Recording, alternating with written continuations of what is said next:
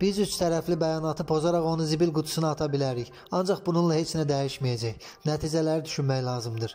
Əgər bunu etsək, deməli noyabrın 10-na qədər olan vəziyyətə, yəni müharibə dövrünə qayıdacağıq. Düşünmək lazımdır ki, bu addımın nəticəsi nə olacaq. Qafqaz Info xəbər verir ki, bu sözləri baş nazir Nikol Paşinyan Ermənistan ictimai televiziyasına müsahibəsi zamanı deyib. Onun sözlərinə görə müxalifət bəyanatı imzaladığına görə onu tənqid etsə də bu sənəddən imtina etmək üçün tutarlı bir yol təklif etməyib. Xankəndi müdafiəsi qalmışdı. Ön xəttdə olan 20-30 min erməni əskəri də mühasirəyə düşəcəkdi. Onların xilas olmaq şansı belə qalmırdı, deyə Paşinyan vurğulayıb.